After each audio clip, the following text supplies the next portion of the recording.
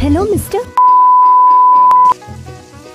मेरा नाम है गीता। आ गई दिखा के क्या साबित करना चाहते हो? मैं यहाँ कुछ साबित करने नहीं आया। क्या यार प्रवीण भाई? ये कौन है? मेरी तरह हैंडसम है। होगा यहीं के? जब भी कोई खूबसूरत लड़की उनसे बात करती है तो डर के मारे थर थर कांपने लगते हैं।